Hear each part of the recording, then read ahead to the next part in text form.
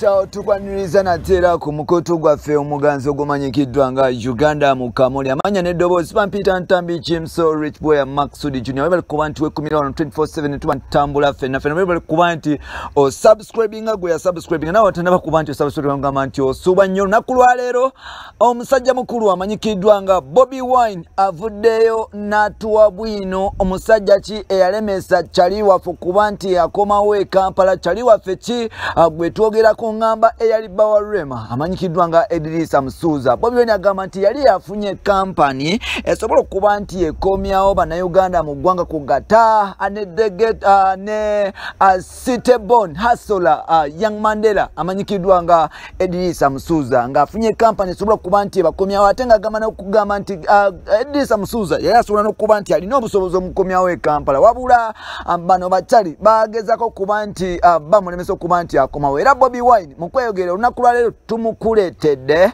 obeere nga omufuna live loud and clear abeere nga akutotolera nsonga ki eremeseza bannayuganda okuba nti bakomawo mu ggwanga n'okuba nti nsonga ki eremeseza bobi wine okuba nti akomawo. Tujjukire nti okuva covid-19 bwe yalumba ensi uganda ng'ensi yasala okuba nti tugenda mu lockdown ng'ebintu byasooka okuba nti basalako ye airport ye entebe ntekirizibwa nnyonyi yonna kuba nti egwako abantu now uh, wine wine uno wano mpola producer. Wine abuze ku bantu then after uh, What about the rest of the country that continue to face uh, the same challenge? So we think that the government is failing completely on this and we demand better answers uh, on the food distribution. Ladies and gentlemen, in the past, many Ugandans have been concerned about the fate of Ugandans that are stuck abroad. I want to particularly focus on the Ugandans that are stuck in China. And the reason is because these, unlike many other Ugandans, have been facing uh, xenophobic attacks. Many of them, as saw, have been turned away from public facilities like hospitals. And uh, it was our desire to make an effort to repatriate them.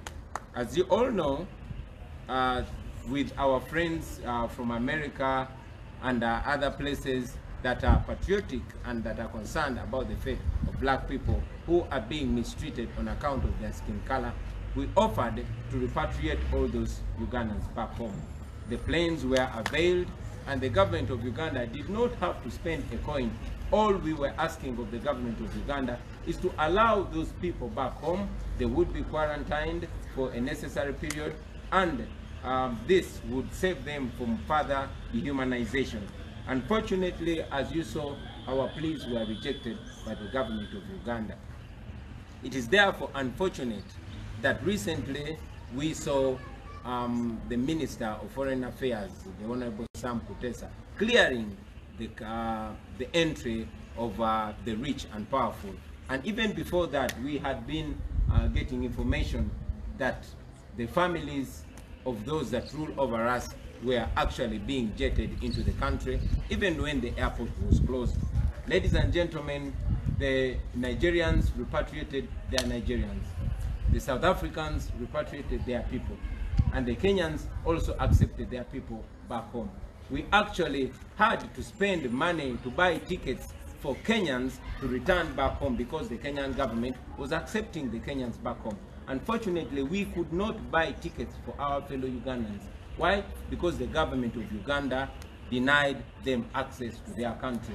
We even have um, you know, Ugandans that have made our nation proud. We all know that our fellow artist Eddy Kenzo is stuck outside Uganda, and even when he could uh, be airlifted by friends, he would not be allowed back home. We think that's double standards. We think that is treating uh, Ugandans with discrim discrimination, and we continue to condemn it. Um, we want to address briefly the issue of taxis and border borders, who by now we all know that they are being tactically, um, you know, chased away city.